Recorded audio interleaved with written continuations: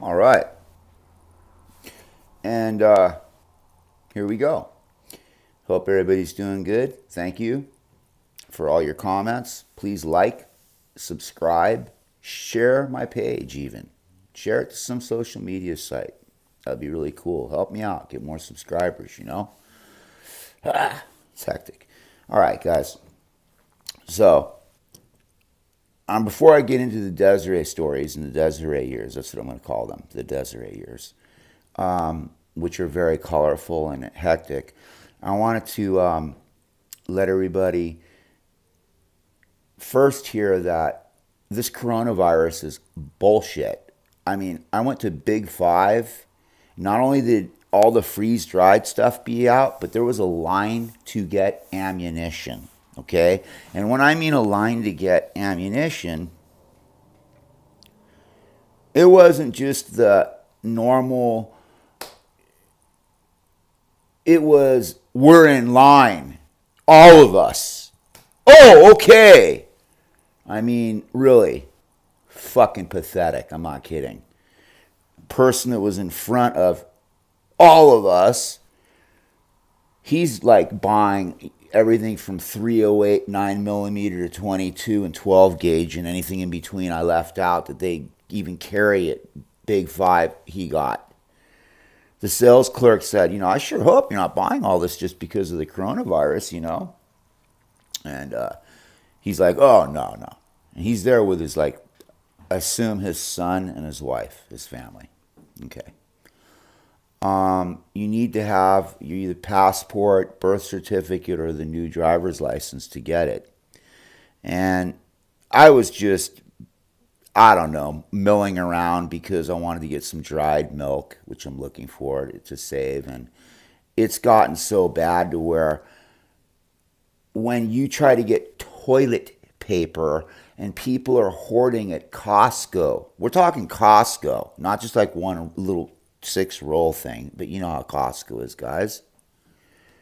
We have an issue, man. Big time. The way the president spoke the other night, he's not a politician. He cannot have that veil that they have.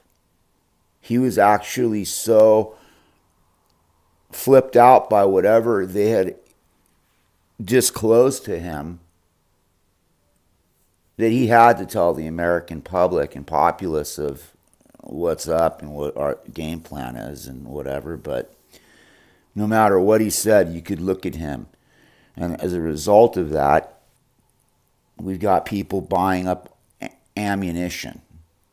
Okay, I didn't know that we were going to war, but at any rate, I mean, we all need to be safe. You know, I do have a few thousand rounds myself, allegedly. Um, but to make things happier. Todd, this is where we're going to start. There's a gentleman, great meth cook, somebody that would actually go the extra distance. And I'm going to get him on the show and interview him himself to speak. He served five years federal time. He was indicted on some of the biggest conspiracy charges in the state of Nevada. I was involved with him as not only as being his very close friend and his, I guess, you know, force. Um, but I got involved to the point to where I was actually getting the cursor ingredients. Now, if anyone knows about it, it's a challenge. It really is to go through all the hoops. When you're not got, we're not on the Smurf level here. We're talking industrial shit. Todd had stepped up. That's why the title is like instead of the witch, the lion, the witch in the wardrobe. This is the meth cook, the Fed, and the ephedrine. So he has me working with Tommy Jenkins, and that's a name that you'll hear later on in the stories of Desiree, as well as Todd a lot. So I'm in San Bernardino. Mind you, he calls me out. This is when he wasn't in prison. I was with Lynn. Now, people know about the Lynn years, so it's easy to put the two together. Now, being with Lynn, you know, like I said, I would be selling 25 pounds of pot every other week. I was roofing, making three, 400 a day. Just crazy. I didn't care. I had our condo still in Las Vegas and our friends out there. But this new business venture that was insane. Like when I first went out there, I could tell things had elevated. Okay, because I met the guy, the Fed, the DEA. And I was going to include his name in this, but I'm not. I'm going to think it's better to be smart than stupid. As you can tell, my language as well. I'm trying to do it to where I can be monetized if that ever happens again. However, we'll just call him Bruce. Bruce was at Todd's house. I drive all the way from Thousand Oaks. I'm tired. I come in and, and hide everybody. And there's a new guy there I face. I'm like, hey, what's up? He's all, hey, what's up? He introduces himself to me and then reaches out and pulls a 45 out and puts it on the table. Now, everybody knows what that means. So I kind of thought that was a little weird. So yeah, I I pull my piece out and put it on the table. That's what I guess that meant because he knew I was packing. And we start talking, and I'm like, so, and I wanted just to kick back and go and party. Really, I just wanted, you know, it was like, come on, man. I was like 30 years old at the time. You know, let's have fun in life, right? Okay. So instead, I'm sitting at a table and about ready to take a drive all the way across Las Vegas to some house that's sheeted up where they are storing this oil at. Now, I'm learning little bits about this, about ephedrine, the pooling, the caps, the tabs. These are when the tabs still had the ephedrine you could buy, the mini thins. You didn't have to smurf then. You could just go out and get it. What Todd did is he'd go to the um, feed store. He'd go to um, gold and silver stores. He, Todd was whacked. Pool supplies places. He'd buy 500 gallons. The whole time, Bruce had been planted there. And his thing was to go around and get people established to where they have the lab so he can bust them for not only manufacture but meth. You know, that's a big charge to step up. If anybody knows, like with heroin and everything, there's it's a five ten to life ten cap and stuff. Not with meth, man. It's doubled. It's like 50 gram is 10 to life.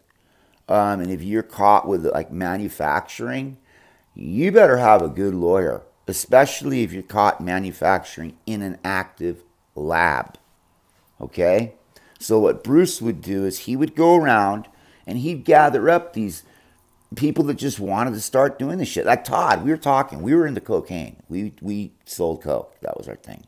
And he wanted to move into this fucking crystal, which was whack because I finally found out it was Tommy Jenkins that got him into it, that was pushing him into it. And like I said, that's someone that's going to stay relevant in the stories because there is one based on them. So everybody that's following the storylines at all, they're they are they are very closely knit. Okay, um,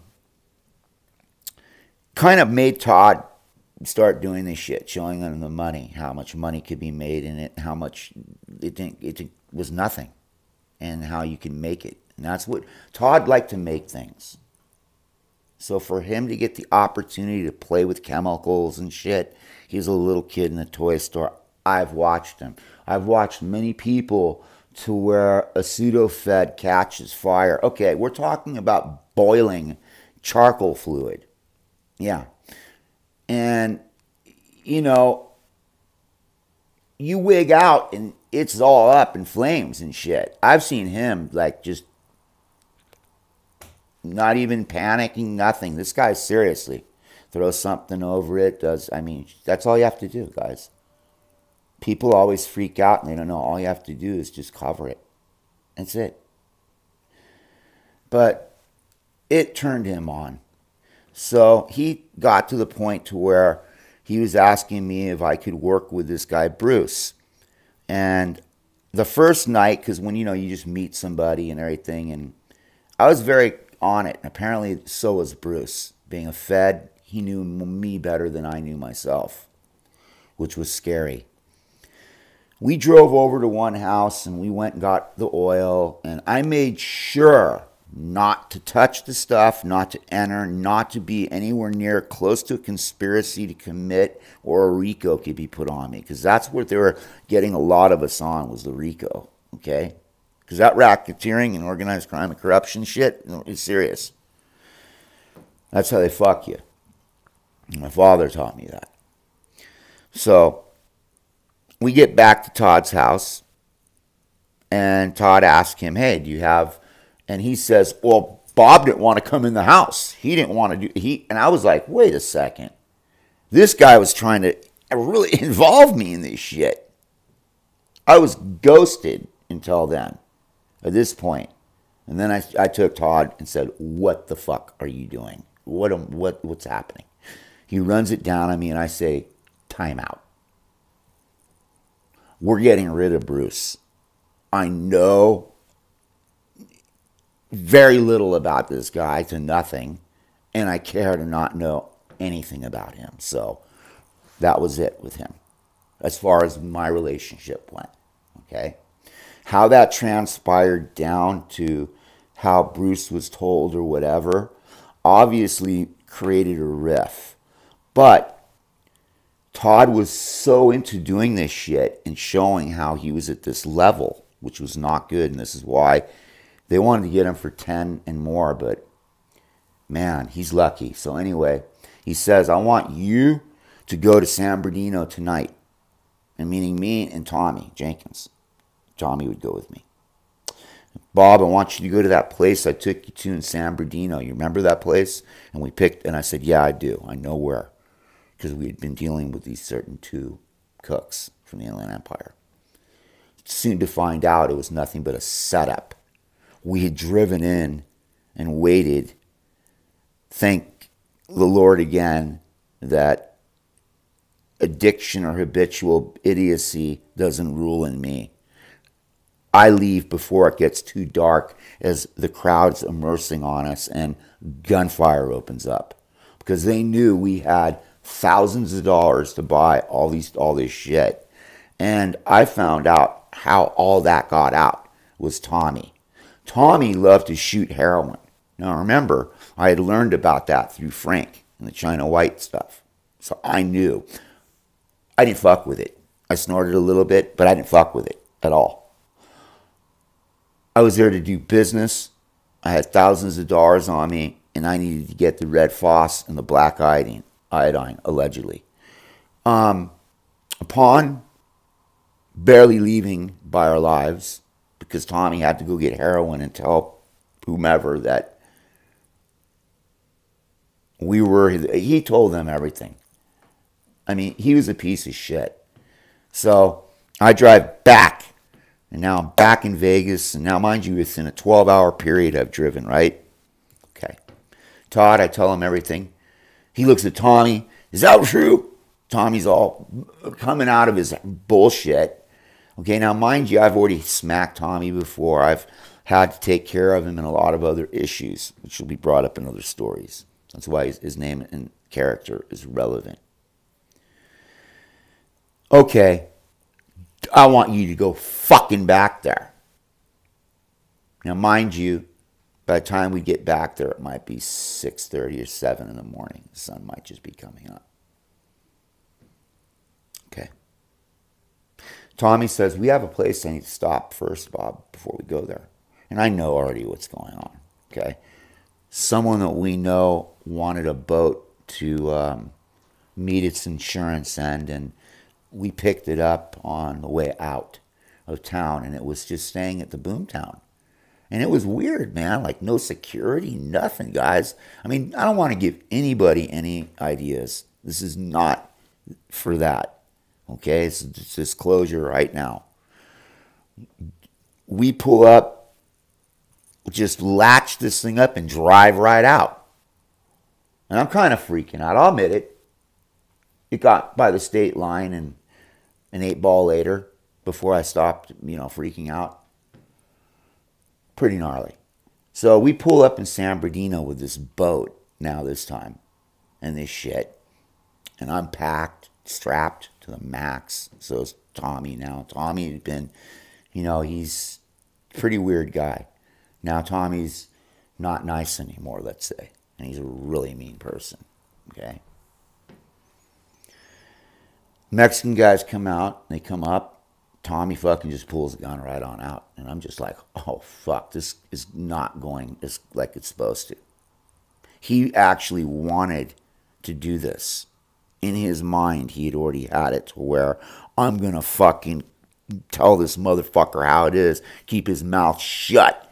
Now, we almost died because of his fucking tweaker blah, blah, blah, blah, shit. Well, he accomplished that. But by doing that, what he did was actually was pretty cool. It made the guy's brother, now that's the guy that was getting the shit, know that these guys are for real. That we weren't no level. Okay.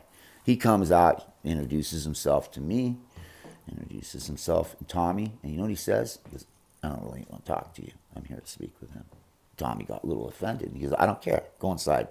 With his brother that he, remember, shot. Okay. Right? We take care of him, in other words. Pretty close to the scene in Blow when you've got, you know, Boston George and later me introducing him to Pablo, and Pablo's like, uh, No, I don't want to talk to you. I want to talk to him. But he's saying, No, I got to do this because he's my partner. Well, it wasn't like that with Tommy and I. I could do that. And he knew I was able to call that shot and do it. And I had the money. Okay? So we leave. We go to this funky head shop. And this is in like San Bernardino, like Inland Empire, Tweakerville. The, the little town where that I keep that I'm telling you where we went was the whole place is full of tweakers. Man, it was weird. You got people sweeping solid dirt yards with brooms. Got you got me. But we go and we pick up, okay, the red phosphorus, black iodine. Now, the whole time though, this dude, the bigger guy, the move up guy, he was already in connection with Bruce, the DEA. Okay? So this was all kind of in the workings to get that lab going. And okay, yeah, pretty fucking close. Pretty fucking close. So I give the guy all this shit. He tells me, I want you to come back. And, and I come back and I tell him, look, you know, need bullshit. And he's like, no, dude. And I, and I go, okay, I, we're straight. And we were. I came back, he gives me like two ounces of the most bombest meth you've ever fucking seen. That's that I could. It was warm. When people that know dope know what I'm talking about. It was fucking warm, and it had the little red balls of phos in it. Okay, so I knew that drip water had dripped. That's what that is. Okay, how I know these things allegedly. Um, so I put Tommy in the car, barely walking. I'm just, at this point, I'm slapping him in front of people because he's just, and he's smacked out. But I got to be careful because I'm alone. It's just me, Tommy, and this wacko. That guy, I'll, I don't even, I haven't even brought up his name or character because he's meaningless in the story. Seriously, he might as well just been a piece of wallpaper or the cigarette that I'm about ready to smoke. Because as soon as I smoke it and put it out, it's what done. Okay, so we leave. Mind you, we have the boat, everything, and we go. Boom, we're on the freeway. We leave San Bernardino. We're headed towards Ventura. Okay, I had had enough of Tommy by this point. Okay, and he's starting to snap out of me. He's starting to get pissed. You could tell He's sick, angry, belittled. Who knows what the fuck else, but I didn't care. I, I didn't. I got back to my location in Thousand Oaks. I left the boat, the trailer, the uh, 4x4, whatever we were driving, the vehicle, all of it up the street at Feldman's parents' house. I didn't give a fuck at this point, guys. I really didn't. And our families all knew what we were doing. We're all corrupt. I don't want anybody to think they're better than the next because they're not. Okay, come on. I mean, I found out that boat allegedly had been taken to the Channel Islands harbor and sank for insurance money. The 4x4 just was rolled right back into where they launched the boats and just I don't know how they get away with this shit, but they do because we they know people from the states and stuff. Anyway, so I take this meth, and now I realize because now I'm not doing the shit. I'm a, I know what's going on, my surroundings. I can tell we've picked up a tail, okay, and a good one. Because of course I couldn't lose him or shake him with that boat. But little did he know how the minds of Minolta think, what counter surveillance training and everything do. It came into play. I call a friend of mine from up north that had worked with Tyranny in the band.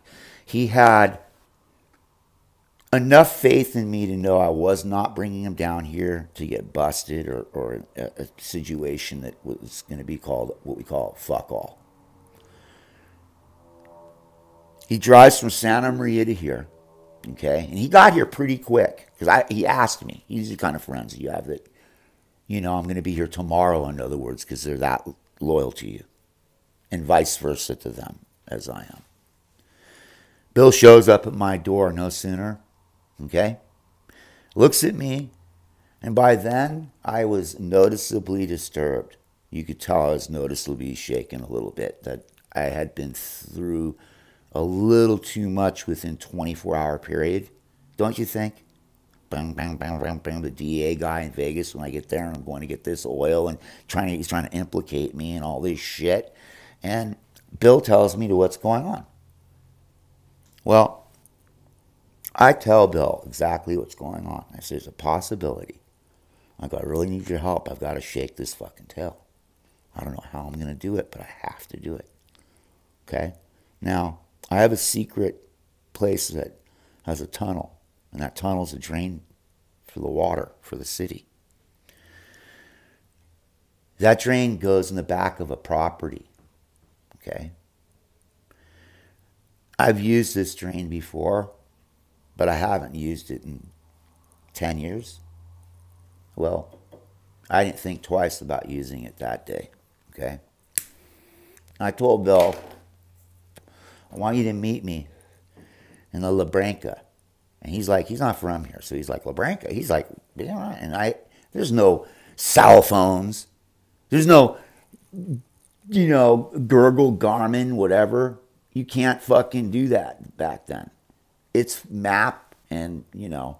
So I drew him from a location I was at, exactly where to go and what manhole cover I would be popping up at. Okay? Because you have to understand we have the long things that go in and pull them up, and we have all this shit. I'm not kidding. Down to I can go up a phone booth and or pull and pretend I'm GTE, and oh yeah. At any rate, I don't need to talk to you about that. At any rate, Bill was there waiting for me like a fucking Trojan. It wasn't like I was there going, fuck is he going to be? No. He was there like he was supposed to be. Okay? Now, my vehicle hasn't moved from this spot. They haven't seen me. They think I'm still here because the person that came left by themselves. Okay? Which I found out later he had just he'd been pulled over. Right when he left the location, and was right up the street. They pulled him over. Pretty weird, huh? Just coincidentally. So whatever.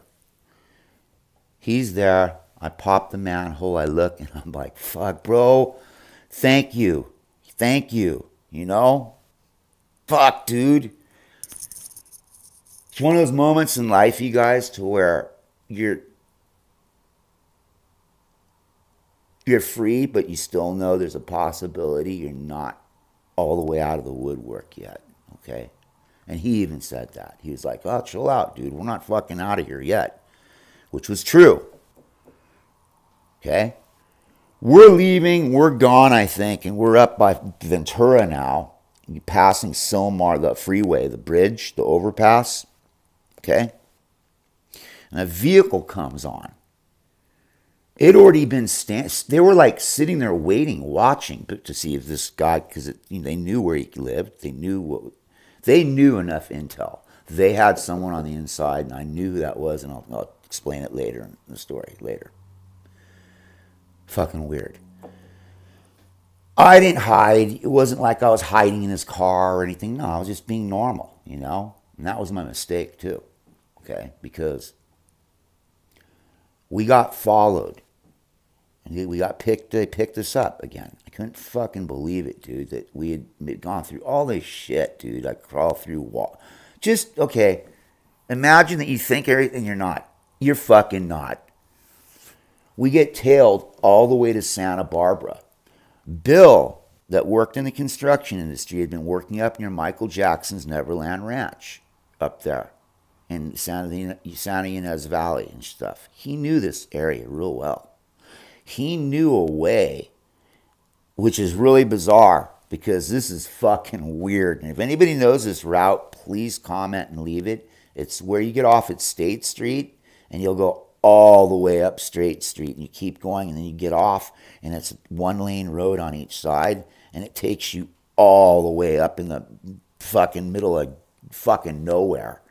It let us off by um, G- Goleta or Gaviota. It was way up there. He lost them. Okay. So we get to Santa Maria. I got this merchandise.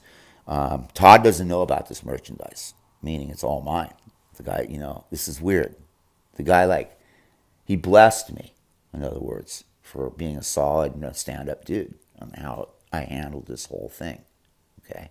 Apparently, he's fucking like high up there in this game that I was involved in decades ago, allegedly.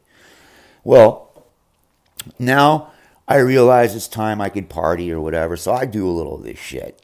Oh my God. Not only me, but Bill, we were both seeing shit coming out of the walls. It was so strong, so intense. It was the craziest fucking thing I've ever been around or done. Uh, even other people that did the shit, you know, they were wigging. They were like, oh, fucking hey. I could have swore it was like bad PCP in it or something because I knew that feeling and it kind of felt like that. So I fucking ended up doing it. And when you do it, you wig out. Well, I wigged out. I decided to bury the shit. Keep like about a half ounce it was. Call my dad. Yeah, out of all people. Yeah, dad. Call my dad to drive up from this location and pick me up to drive me home. He's like, What the frick are you fangula, you, you freaking idiot? He was mad. Okay? But he didn't come by himself. He brought my mom with him. So I get picked up by my mom and dad, twacked out of my fucking head. All right? My dad's like, You got a lot of explaining to do, and we got a long drive, so start. Okay? I told him everything that I just did, the whole story. Okay. By the time I got here back to this house, my dad turns around, looks at me, goes, You know, not bad. Not bad. my man was always a little cracked, but that was my story. It's Todd. You know, the lion, the witch, and the wardrobe. It's not. It's the meth cook, the, the Fed, and the ephedrine. I mean, it was gnarly, you guys.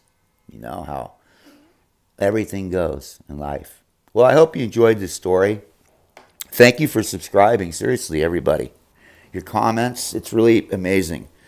Um, the downloads you've even purchased of my music. Um, it's like I've been totally reborn. And I gotta say, a lot of it has to do with Ryan Leone. I watched some of his videos and I had this mindset. People that know me will tell you 12 years ago, 15, when YouTube first came out, and you know, I first had that page. And when I get to that story, you guys will know about it. But I thank him a lot, man, because Ryan, dude, you fucking inspired me, bro. And um, I hope that I can make my next step. As you can see, I ain't too fucked up. So maybe I can totally clean up and get things right, just like they're supposed to be, and and really enjoy life, you know. And thank you for letting me share these stories with you guys, you know. And Fangul, Takata.